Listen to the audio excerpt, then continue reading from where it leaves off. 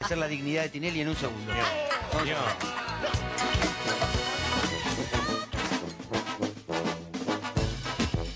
Arrancamos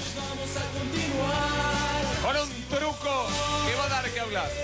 Señores, el mago ganador, el mago winner, Está bueno, Mago. Del que hablan las mujeres en Argentina.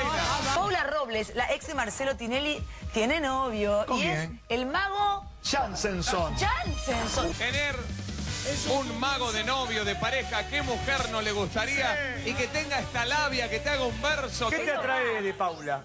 Me parece que es una mujer eh, distinta, única, de verdad me parece que es extraordinaria. ¿Por qué? y por- porque es así, porque hay, un, porque hay un conjunto de cosas que suceden en ella que me parece que son, que son muy, muy, muy especiales. Y que tenga esta labia, que te haga un verso mientras te hace desaparecer un corpiño. Señores, fuerte el aplauso para el señor Jansenson. Jansen. Jansenson. Jansenson. Jansenson. Jansenson. Jansenson. Jansenson. ¿Cómo se conocieron? Nos conocimos hace muchos años atrás, como 13 o 14 años atrás. ¿13 o 14? Porque Jorge Bucay, que, que es amigo mío, me dijo, me gustaría invitarte a una cena, pero trae algo de magia para hacer, porque no te quiero decir a dónde vamos, pero, pero hay gente que me gustaría que conozcas y que te vean hacer magia y esto. Entonces fuimos a la casa de Marcelo y de Paula. Quiero decir, perdón, quiero decir que la hizo, un día lo ha hecho este truco en mi casa, es increíble lo que vamos a ver acá, en serio, ¿eh? es espectacular. Ahí la viste, Paula estaba casada, todo. ¿Cómo fue el reencuentro con Paula ya separada? No, después no- nos encontramos, creo que en el 2005, cuando yo estaba en Showmatch en el concurso de ¿Todavía estaban magos. en pareja?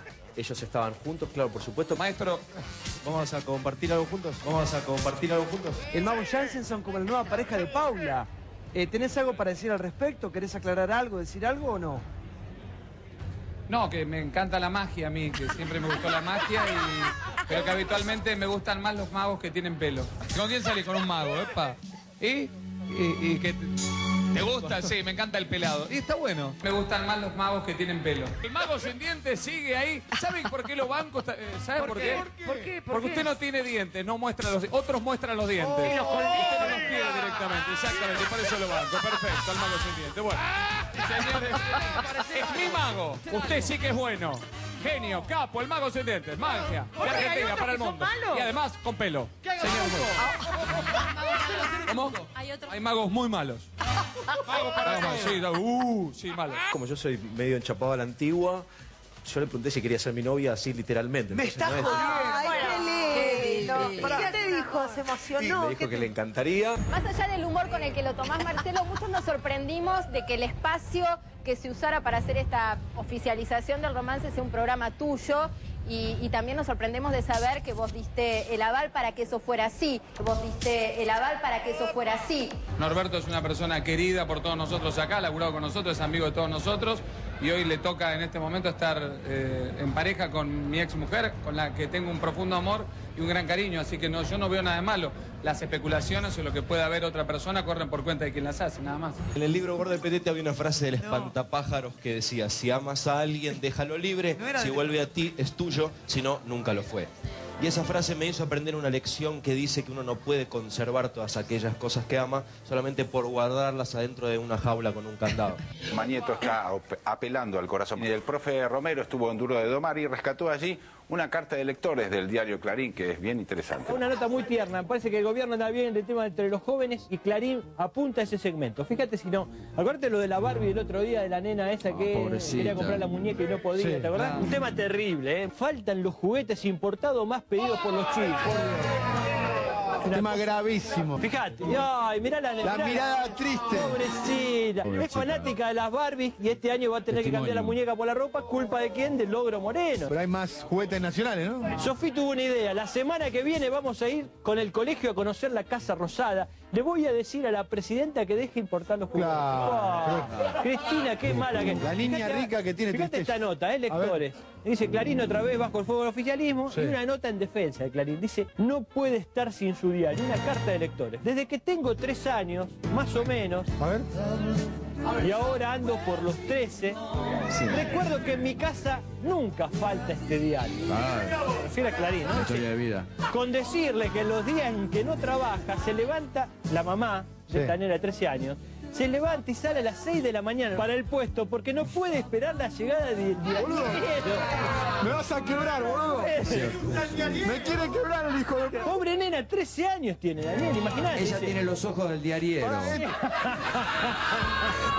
Es un golpe bajo lo que estás haciendo. Si llega del trabajo y por alguna razón no se lo dejaron, se toma un remis hasta un shopping cercano para comprar. ¿Qué asignación universal y asignación universal? Pero qué sensible está, Daniel, es Clarín. ¿Cómo no te va a pasar eso? Fíjate, en un chiste que festejó a las risotadas me pidió que el día que se muera no le lleve flores. Solo Clarín. Pará. Quiero que sepan que mi mamá es única, dice la nena. Claro, y que obvio. Clarín y yo somos lo más importante en su vida. Ahí está.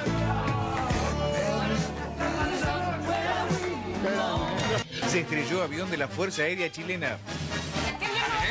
Qué bien como Humberto. siempre, como siempre. Sí. Y un fin de semana muy lindo también. ¿Sí, no? ¿Por qué me lo dices así? ¿Tienes algo en especial en mente? Voy a ir a, a- a mi, que la queri- Raquel a- tenía voy a ir a mi querida isla Juan Fernández. Ay, qué entretenido, que te esperen ahí con unas langostitas ricas. Así que les mando muchos cariños. Vamos a ir a, a ver cómo va esa reconstrucción. Qué entretenido. Sí, muy entretenido. Tengo muy Qué lindos bueno. amigos allá.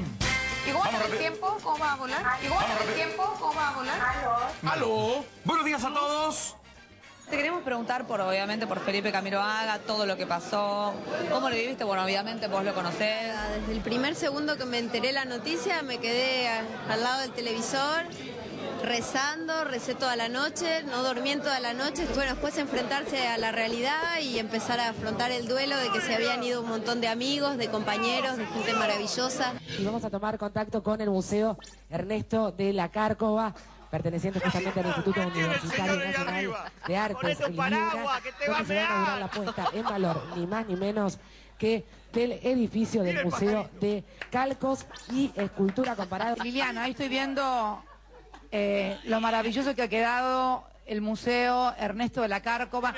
Yo voy a explicarles porque eh, es el Yulna y como ustedes verán, reproducen grandes esculturas muy conocidas. Ahí estás con el David de Miguel Ángel, creo a tus espaldas, casi en una zona media mm, eh, impúdica para la hora que estamos ahora, para el menor y la familia.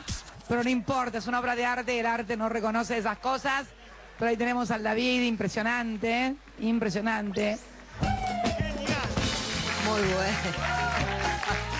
Justo lo sentaron ahí al señor